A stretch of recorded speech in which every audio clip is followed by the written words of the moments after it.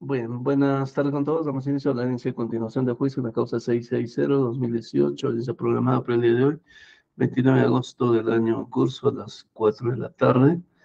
Dirige la presente audiencia la Contreras Román en su condición de juez del primer juzgado penal unipersonal de Bélica para continuar con el juicio seguido contra Ronald Paucar Curasma por el delito de peculado culposo. La audiencia está siendo registrada en el aplicativo Google Meets. Y vamos a pasar a acreditar a los intervinientes por el Ministerio Público. Adelante. Gracias, señor magistrado, señor eh, abogado de la Procuraduría, abogado de la defensa del acusado y demás presentes. Buenas tardes. Por la Fiscalía, a Ivette Antesana Chaguayo, fiscal adjunta provincial del primer despacho de la Fiscalía Provincial Corporativa, especializada en delitos de corrupción de Huancavelica, con domicilio procesal en Avenida Manchego Muñoz, número 896, barrio de Santana y demás datos señalados por el doctor Gary en las sesiones anteriores. En esta oportunidad, señor magistrado, solo por esta única vez, en apoyo al doctor Gary Justino Zavala Guzmán, en atención a que el doctor ha tenido una diligencia inaplazable programada para el día de la fecha en la provincia de Castro Virreina. Gracias, señor juez. Bien. Adelante, doctor Walter. ¿Cómo está, doctor? Muy buenas tardes. Buenas tardes a todos los presentes. Quienes habla el abogado Walter José Blue Agustías, habilitado con colegiatura 275 del Colegio de Abogados de Huancavelica, delegado de la Procuraduría Pública Anticorrupción, contrato de identificación brindados en audiencias anteriores. Presente.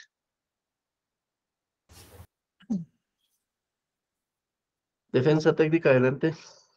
Gracias, magistrado. Con su persona, buenas tardes, con los sujetos procesales presentes también, abogado Luis Ángel Paz Venecia, defensa técnica de Ronald Pau Curasma, acusada en los presentes autos, con las generales reseñadas en sesiones precedentes. Mi patrocinado también se encuentra presente del magistrado. Gracias. Bien, señor Ronald Paucar, adelante. Sí, buenas tardes con todos. Eh, soy Ronald Paucar Curasma, con DNI 414164, P4. Gracias.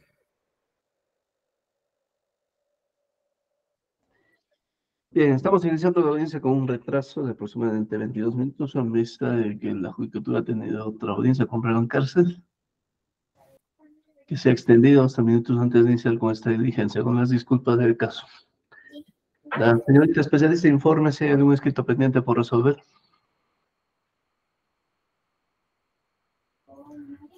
Con el de la tarde, señor magistrado, haciendo la revisión del sistema integrado judicial, no hay ningún escrito por atender en la presente audiencia. Asimismo, mencionar que en la sesión pasada se ha quedado en la actuación de medios probatorios de la parte acusada, señor magistrado. Eso es en cuanto a precisar la, continuación del juicio oral. Bien, ya estamos en el último tramo para los alegatos de clausura. La señorita fiscal tiene una observación para iniciar con los mismos.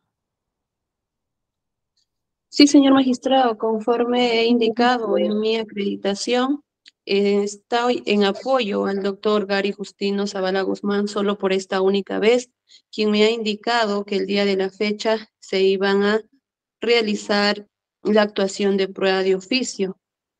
Además de solicitar a vuestra judicatura por esta única vez en atención a que se había programado con antelación esta diligencia en la provincia de Castro Virreina la reprogramación de la misma para que el doctor Gary Justino Zavala Guzmán, quien ha conocido los hechos o el proceso desde el principio, efectúe sus alegatos finales. Gracias, señor juez. Bien, doctor Walter, lo indicado. De conformidad de... ¿A qué interesa su despacho, doctor? Doctor Luis. Gracias, doctor. Eh, en realidad, lo que corresponde hoy día, según, el acto, según la sesión anterior, era, como dice la señorita fiscal, la oralización o la actuación, perdón, de, los, de la prueba de oficio ya admitida. De modo que es el estadio correspondiente. En relación a la petición fiscal de la reprogramación, señor magistrado, el modelo procesal penal no solo es de corte garantista, sino que ordena las etapas del, juicio. Es más, la fiscalía se cimienta bajo la tesis de un órgano corporativo.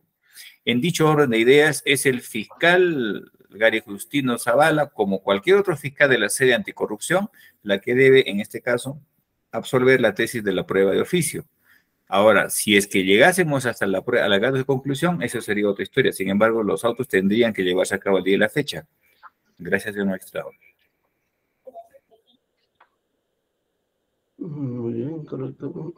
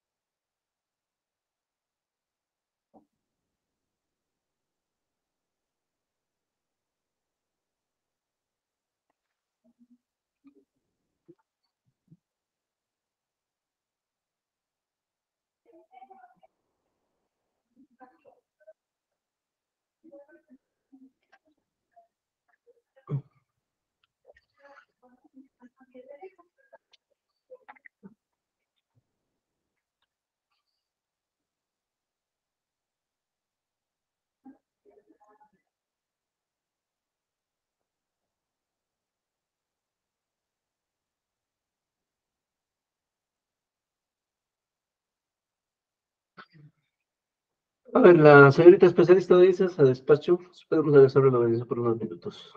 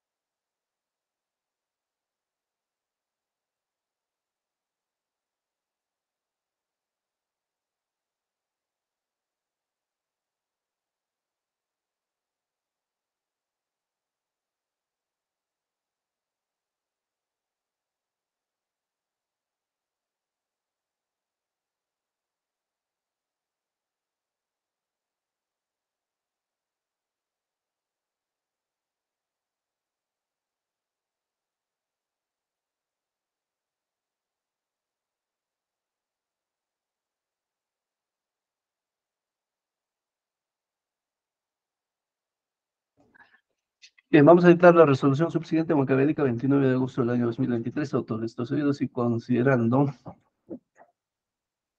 primero, para el día de la fecha se ha citado las partes para continuar con la actividad probatoria, se clausura la actuación de los medios probatorios documentales admitidos de oficio, la parte acusada.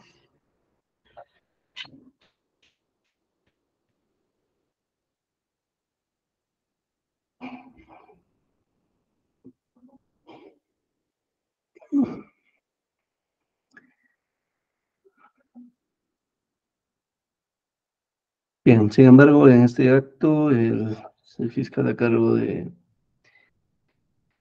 caso, el doctor Gary Justino Zavala, no ha asistido, no ha asistido a la presente diligencia. En su lugar, se ha presentado la autoridad ante Sana Chavayo, quien ha indicado que el fiscal a cargo del caso se encuentra participando en un juicio oral en la sede judicial de Castro Virreino. Siente considerando la señorita fiscal que está en representación del Ministerio Público. En esta audiencia indica que el fiscal a cargo del caso es el que tiene conocimiento detallado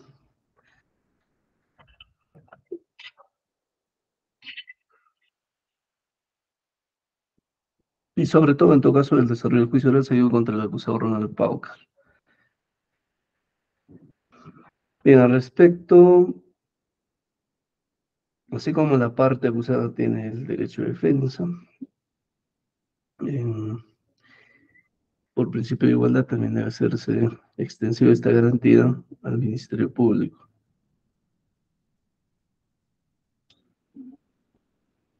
A efectos de que su teoría del caso sea debidamente sustentada. El criterio del juzgador es atendible lo indicado por la representación fiscal, por lo que debe reprogramarse esta audiencia. Por lo expuesto se resuelve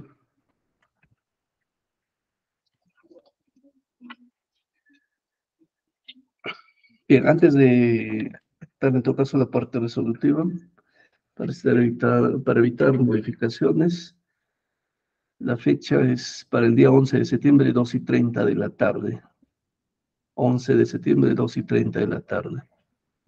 Doctor Iveta, ¿alguna observación? Conforme, señor juez. Doctor Walter.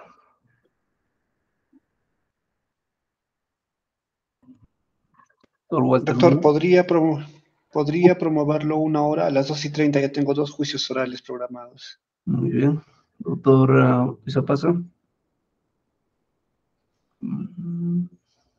Doctor, para el día 11 no han transcurrido nueve días ya. Sí, lo que pasa es que mañana es feriado, doctor. Ah, correcto, correcto. Doctor, eh, me preocupa, bueno, en todo caso, de acuerdo, porque el señor fiscal también manifestó conformidad con la anterior sesión respecto al señalamiento para esta fecha. Y bueno, sorpresivo lo que refiere ahora a la asunto fiscal, en el sentido de que sí tenía diligencia programada. En todo caso, dejo a su consideración, señor magistrado. Bien, en todo caso, la hora sería las 16 horas, a ver, de, o 4 de la tarde, 11 de septiembre. Conforme, doctor. Ministerio Público. Conforme, señor juez. El doctor Luis Paz, ¿alguna observación? 11 de septiembre, 4 de la tarde, correcto. Muy bien. Quitamos la parte resolutiva. Bien, se señala la fecha de continuación del juicio para el día 11 de septiembre del año en curso a las 4 de la tarde. Audiencia que se llevará a cabo en las audiencias de este juzgado y a través del aplicativo Google Meets. Bueno, se va a habilitar el tiempo suficiente para actuar los medios probatorios y escuchar los alegatos finales de las partes. Bien, debe asistir la la representante o representante del Ministerio Público bajo procedimiento de comunicar su conducta a su órgano de control, el, abogado elector civil bajo procedimiento de tener por abandonada su constitución en parte, la defensa técnica del acusado bajo procedimiento de ser con los URPs, también debe asistir el acusado bajo procedimiento de prescindirse de su derecho a autodefensa. Muy bien. Para concluir, ¿alguna observación de la señorita fiscal? Conforme con lo resuelto, señor juez. Doctor Walter, Conforme, doctor. doctor Luis Apaza. Se nos notifique con su resolución, doctor. Gracias. Correcto, siendo las cuatro con cuarenta y tres minutos, vamos por concluida la audiencia. Buenas tardes con todos. Buenas tardes.